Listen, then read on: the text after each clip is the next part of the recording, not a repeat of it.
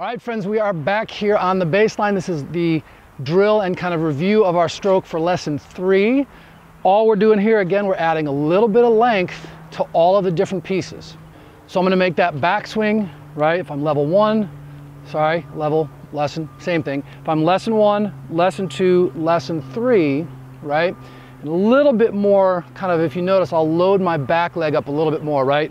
If I don't have my racket at all, I'm, I'm lesson one, lesson two, lesson three. It's not a huge difference, but there's a little bit more weighting of that back leg. Don't really worry about that too much now, but if it makes sense to you, go with it. Okay, same thing with the follow through. Lesson one, lesson two, lesson three. And again, that follow through is just a little bit longer. My weight transfer is gonna be a little bit bigger, which means the step, step's gonna be a little bit bigger. My strings, probably gonna be a little bit more open. But that's gonna depend on my swing, right? If I open them too much, that ball's gonna go straight up into the air and that's not gonna do us a whole lot of good, right? So tinker with that string position and how it relates with your swing path, right? Swing path, excuse me, right? If I've got straight open strings and I swing up, right?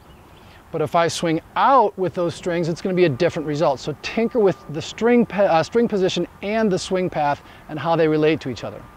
The other thing you guys might notice is that the follow through might start coming around, start coming across a little bit because I can only reach out so far, right?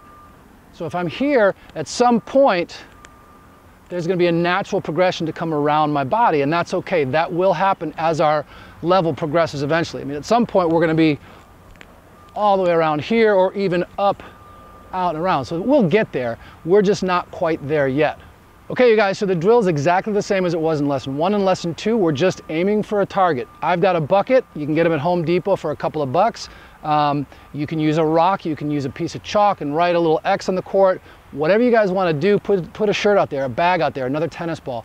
But find yourselves a target and then work on trying to hit shots that will land within six or seven feet of that target, okay? Now, we're further back, so it's a little bit more difficult to get that ball into that six or seven foot space. But again, that's what we really need to be able to do is to be able to control our shots so that we can rally and enjoy this game a little bit more.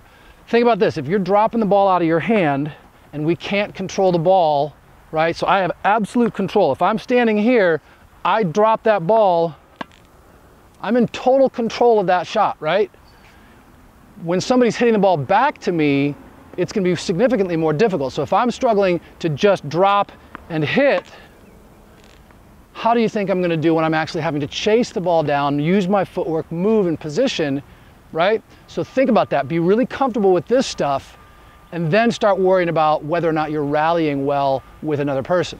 Let's hit a couple. Okay, again, for comparison, we'll do level one. Very small.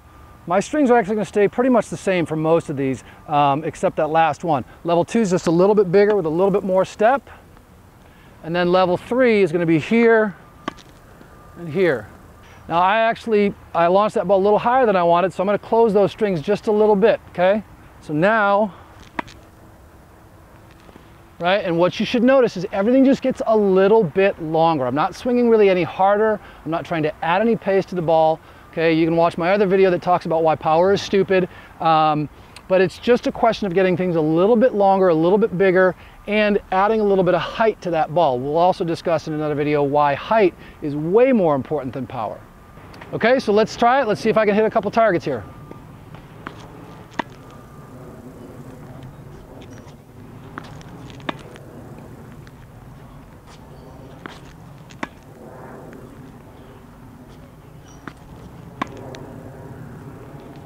Okay, didn't get it, but I got close. That's what I was looking for. Now, if you guys noticed, I kind of started up and then down and then forwards.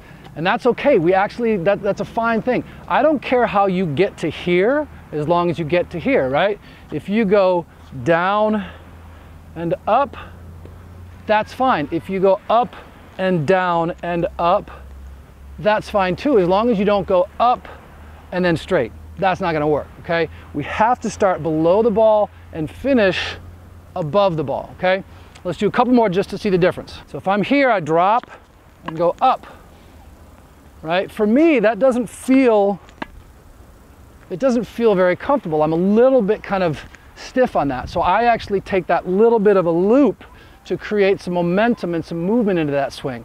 We'll cover the loop in a totally different lesson. Again, if it's comfortable now, go with it. If it's not, don't worry about it. Again, all we care is low to high. I don't care how you get there, all right? But this is the one with the loop. A little bit of a loop, up and through, okay? Small loop, up and through.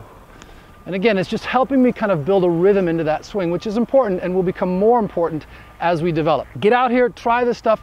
Once you guys have gone through this drill, you're hitting your six or seven out of 10. If you've got the backhands already, you guys are good to go, okay? So get out there, play, rally, find a partner, find a friend, somebody to hit with, against, whatever you wanna do, let me know how it goes. I'm really, really curious to see where you guys started, where you got to, what the kind of hiccups and, and, the, and the good pieces were along the way. And I'm actually kind of curious to see how long this has taken anybody. So if you were able to say, hey, I did this in you know, a week and a half, I went out three times and I was good, um, cool. If you said this took me six months, that's cool too. Let's talk about it and work on this stuff together. Um, you know, you guys remember the whole idea is that I'm here to be your teaching pro.